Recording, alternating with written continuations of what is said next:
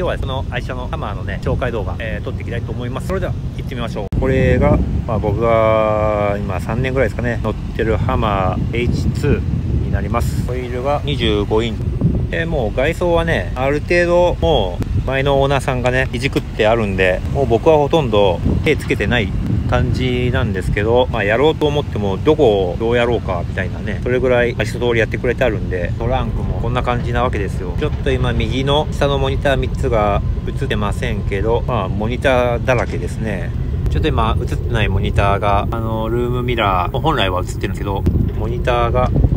このでかいテレビもね、これ、ちょっと今ワイヤー中で外れちゃって上がってこないんですけど、リモコンでね、ウィーンって上がってくるんですよ、本当は。まあ何勝10万かかってるんで、改造費だけで、まあいろいろやってありますね。それじゃあ、ハマーのね、試乗動画行ってみたいと思います。それでは行ってみましょう。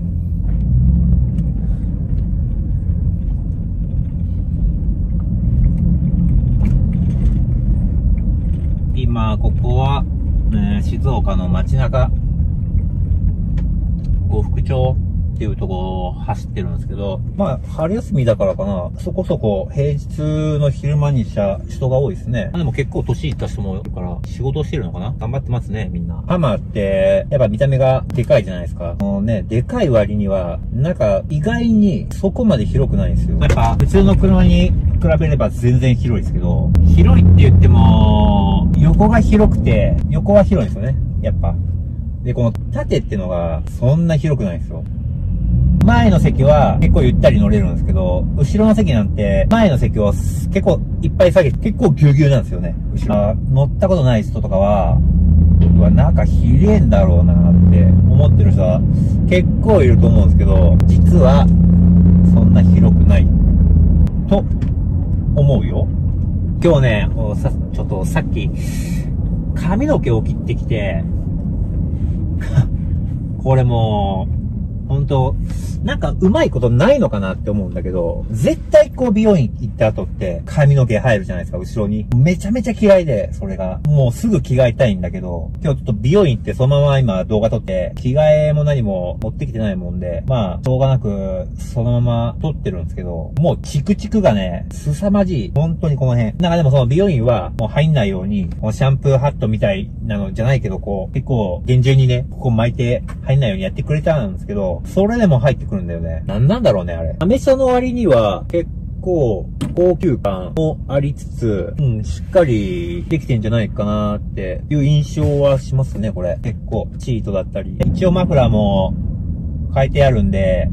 まあノーマルよりは多少ょっとうるさいかなって。そこまでうるさくないですけど、まあ、あの、アメ車独特の、ボーンっていうね、音、出るね、一応。やっぱ目立つ車で、音がめっちゃ静かな車って、逆にかっこ悪いじゃないけど、ちょっと物足りないと思いません？スポーツカー、スーパーカーで、フェラーリとかランボとか。あんなんもやっぱ、音があってなんぼじゃないですか。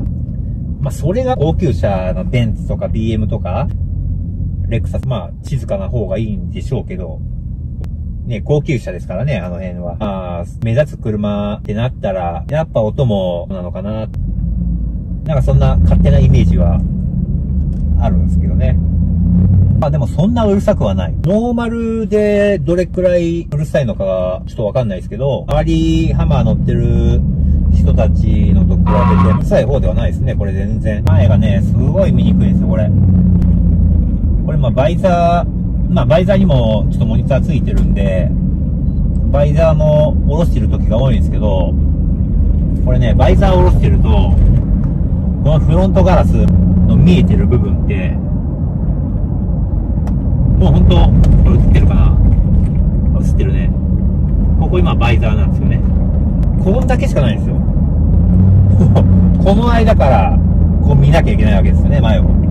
ほんと視界がね、めちゃめちゃ狭いんですよ。まあ、買ってみて、まあ、率直な感想っていう。まあ、僕はね、これ結構当たりだったんで、よかったなっていうか、正解だったんですけど、一番びっくりするのは、燃費。まあ、燃費悪いっすわ、これ。垂れ流しとまではいかないけど、ね、一通りやっぱいじってあって、マフラーとかも変えてあるんで、それでやっぱノーマルより悪くはなってると思うんですけど、言ったってね、そこまで変わるわけでもないと思うし、まあそれがね、積み重なればでかいですで、ハマってやっぱ、いじってあろうがなかろう。もう燃費はほんと、クソ悪いと思うんですよ。で、ガソリンタンクが、まあ多分110いかないぐらいだと思うんですけど、まあ110だとして、多分みんな早く入れると思う。で、110、入れたら、まあ1万7000、8000とか行くわけです。1回ガソリン満タンするのに2万近くかかる。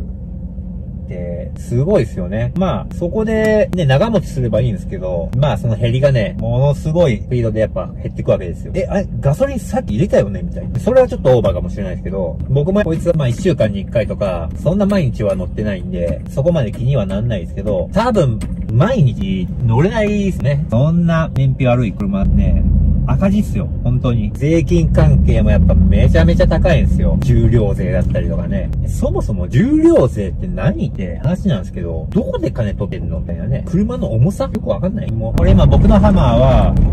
どっちかというと、車高下げてあるんですよ。これでも。今の流行りって、リフトアップして、バイクタイヤ履いて、オフロード的な感じで乗るのって今流行ってるじゃないですか。ぱ知り合いのハマーとかも、8割方、やっぱそのスタイルで、乗ってると思うんですけど、今僕のハマーで、立体とかの駐車場、ギリギリ入れるぐらいの車高を落としてですよ。で、多分ノーマルの時点でもう多分入らないですね。立体は。だからリフトアップなんかしてたらもう話にならないし、オーバーフェンダーつけて、スパイクタイヤとかもぶっといの入ってたら、もうその辺の駐車場ですら、入れれない感じになっちゃうと思うんですけどね。まあ僕のは、まあ立体もいけるし、その辺にあるコインパーキングとかも、まあなんとか止めれるんですよ。まあ両方ギリギリなんですけどね。これね、ここ、ここがないのが不便。助手席にはついてるんですよ。ここ欲しくないですか？ここ。普通に。ね。まあここはね、乗り降りするときに、まあ使うのかもしれないけど、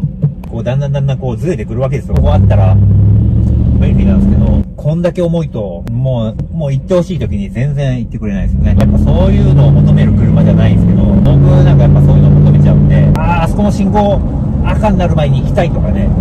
透明の合流じゃないですけど、今みたい、今みたいなね、これシートさすがに純正だと思うんですけど、まあヒーターね、背中とケツとヒーターついてますね。乗ってると、なんかちょっと熱がこもるっていうか、それはね、この僕の車だけかもしれないですけど、ちょっと、ちょっとなんか熱気がムンムンするんですよ。